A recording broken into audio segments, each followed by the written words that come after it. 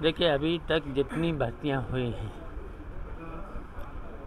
वो सरकार ठीक से नहीं करा पाई पर्चा लीक का तो जितने बार इनकी भर्तियाँ हुई, पर्चा लीक हुआ है। और परि, और अभी तक जितने भी लड़के पास हुए हैं, अच्छे नंबर लाए हैं, उनका अभी तक रिज़ल्ट नहीं निकाल पाई तो इस सरकार से कोई उम्मीद नहीं है कि निष्पक्ष भर्ती करा पाए। इसमें भी बेईमानी करेगी।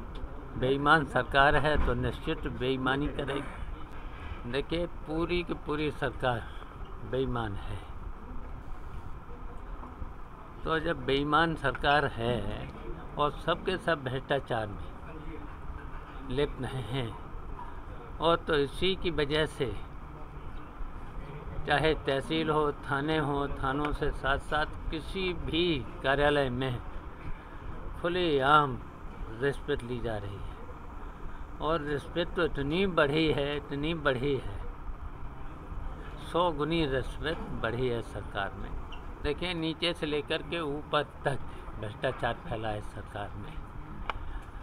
तो भ्रष्टाचार जब ऊपर से नीचे तक फैला है तो पूरी तरह से ये सरकार भ्रष्ट है।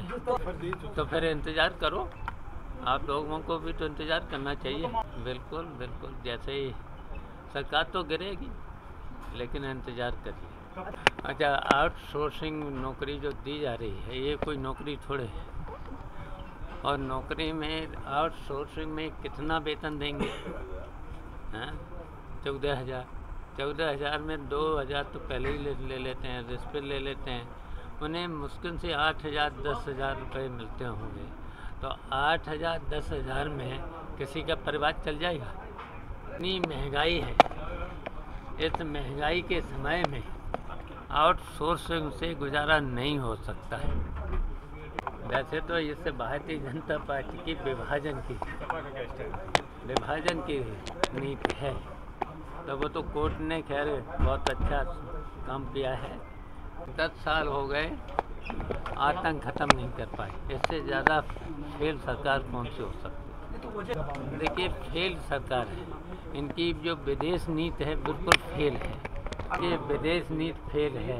पूरी सरकार की विदेश नीति फेल है। इसलिए आतंक को मिटा नहीं पा रहे। के बुलडोजर के बिल्कुल बहुत घटिया है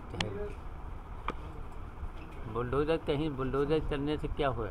ये तो देखिए, कहीं किसी ने अपराध किसी ने कर दिया है तो इसके माने क्या, सब पर बुलडोजर चला दो?